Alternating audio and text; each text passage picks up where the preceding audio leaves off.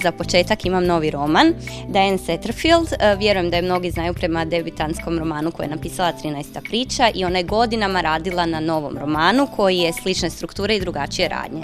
I konačno ga je i objavila. Evo u izdanju Algoritma e, pod nazivom Bellman i Black. Dakle, e, o čemu se radi? William Bellman je u trenutku dječačkog izazova ubio i usmrtio jednu pticu sa stabla. I godinama kasnije neće ni znati da će to biti od presudne važnosti za njegov život. On je uspješan čovjek, sretno oženjen, ima četvero djece i ima sve što može poželjeti. No niz tragičnih događaja gotovo preko noći njegov život preokrene u nesreću i on je da bi spasio nešto što je vrijednije od njegovog vlastitog života prisiljen sklopiti ugovor sa jednim neobičnim i tajanstvenim strancem. Koji je to stranac? Pogledajte u priči koja je Dajen isplela za vas e, i saznaćete vrlo nešto neobično o pticama gašci. Dalje.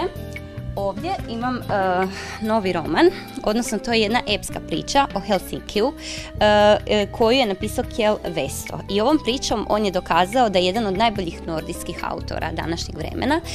radi se o uzbudljivoj sagi, o gradu i ljudima koja se događa na jednom od važnijih povijesnih raskriža 20. stoljeća.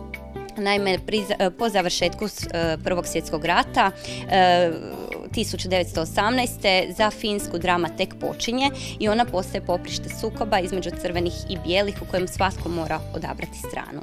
Pratimo e, radnju nekolicine protagonista kojima je povijest oduzela sve snove o ljubavi, slavi i gole, e, bore se za e, goli život.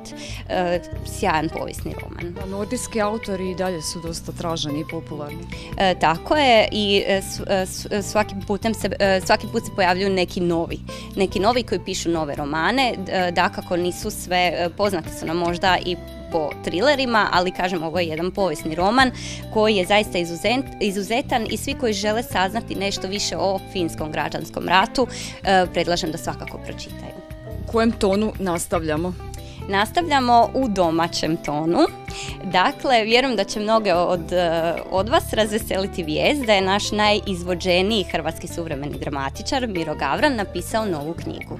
Eh, priča prati Fra Didaka Vutića koji je spasio na tisuće djece od gladi za vrijeme Prvog svjetskog rata. Naime, kada je vladala suša u Hercegovini, Fra Didak je odlučio pokrenuti akciju spašavanja djece na način da ih preveze u Slavoniju i Srijem i udomi kod obitelji koje su e, pokazale veliku humanost u tim teškim trenucima. I prema dostupnim iz, izvorima, e, povijesnim izvorima, saznajemo da je on zaista spasio oko desetke tisuća djevojčica i dječaka.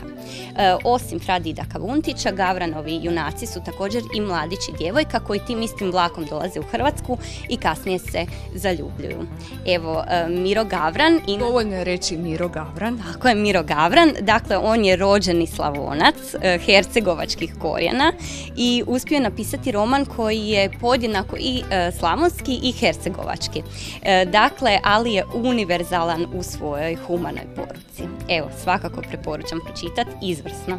Ovdje imam dvije prave poslastice za sve ljubitelje trilera, naravno nećemo ni zaobići. Radi se o dva, e, dva psihološka trilera koji će vas dugo držati budnima i uvešće vas izravno u svijest e, psihopata.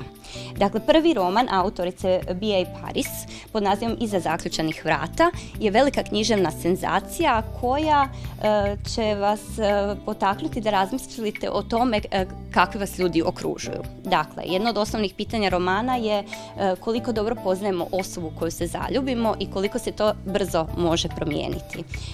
Dakle, ako želite saznati odgovor na ovo pitanje i na još puno drugih pitanja, svakako predlažem da potražite ovu napetu i neizvjesnu knjigu. Ništa manje napet nije ni roman autorice Ruth Weir e, u mračnoj mračnoj šumi. Dakle, ovaj roman ima sve što je potrebno za jedan scenarij svačije noćne more. A to je mračna šuma, usamljena kuća, zatrovano prijateljstvo. E, evo, zaista preporučam čitati. Ako se usudite, nemojte čitati sami. I, e, ili u mraku. Ili u mraku, nikako. To je probajte ako možete. E, ono što je zanimljivo, snimat će se visoko budžetni film prema ovom romanu. Dakle, brzo svi po knjigu imat ćete šta čitati i gledati. Prvo knjiga, a onda film. Tako je. I za kraj, nešto sasvim drugačije, ali htjela sam vam predstaviti knjigu koja je nova na našem odjelu, e, autorice Helene Jakoliš, Zdravo i slasno bez glutena.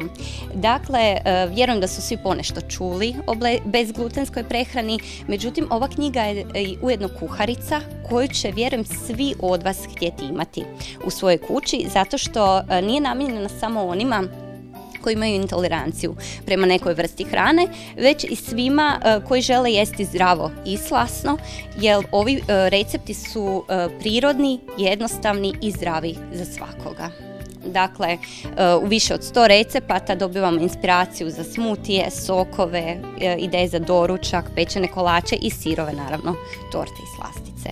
Ovo naravno nije jedina takva knjiga na našem odjelu i ukoliko je neko zainteresiran da sazna nešto više o ovom načinu prehrane, evo pozivam ga da dođe na naš odjel, da nam se obrati, mi ćemo rado pokazati sve što nudimo na tu temu.